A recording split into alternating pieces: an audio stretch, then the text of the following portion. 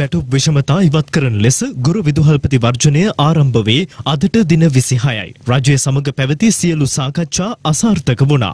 ගුරු වැටුප් වැඩි කිරීමට රජය ලබන අයවැයතෙක් කල් ඉල්ලා සිටියා. එහෙත් වෘත්තීය සමිති එම යෝජනාව පිළිගන්නේ නැහැ. නිවැරදි විසඳුම් කඩිනමින් දෙනතෙක් සටන අතහරින්නේ නැති බවයි වෘත්තීය සමිති ප්‍රකාශ කරන්නේ. අපි ගුරුසවා විද්වල්පතිවරන්ගේ වැටුප් ගැටලුව සම්බන්ධයෙන් අපි විවිධ ක්‍රියාමාර්ග ගත්තා. ඒ ක්‍රියාමාර්ගවල අපි දිගුවක් ලෙස අද පැහැදිලිවම වෘත්ති සමිති ගණනාවක් මුණ ගැහෙන්න තීරණය කරලා තියෙනවා. අපි බලාපොරොත්තු වෙනවා මේ වෘත්ති සමිති ගමන සාකච්ඡා කරලා පොදුවේ අපේ ක්‍රියාමාර්ග ශක්තිමත් කරලා පෙරට ගෙන යන්න. අපිට තියෙන ප්‍රශ්න තමයි ආණ්ඩුව මේ වෙනකොට මේ සම්බන්ධයෙන් කන්නොදී අත්නෝමතික මේක මර්ධනය කරන්න කටයුතු කිරීම මේ තත්ත්වය සැලකිලිට අරගෙන මේ කටයුතු වලින් නවදින් නවදින්න කියන එකත් අපි සිසු වෘත්ති සමිති සමග සාකච්ඡා කර අපි අනිවාර්යෙන් අපේ අරගලය පෙරටගෙන යාම සම්බන්ධයෙන් අපි නිශ්චිත වැඩ පිළිවෙලක් රහිත පෙරට පෙරට යනවා කියන කාරණාව අපි කියන්න කැමතියි.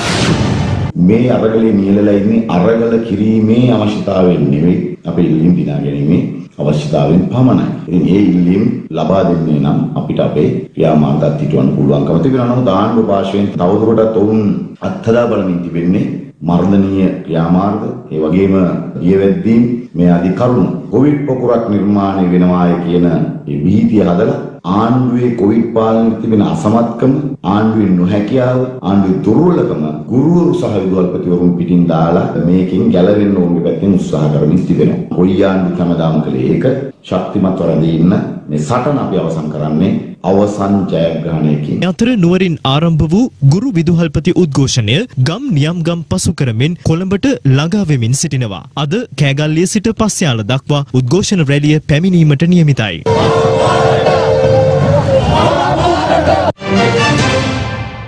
දෙනපතා අලුත් වීඩියෝ සහ ප්‍රවෘත්ති නැරඹීමට ඉහත බටන එක ක්ලික් කර සියත TV සබස්ක්‍රයිබ් කරන්න.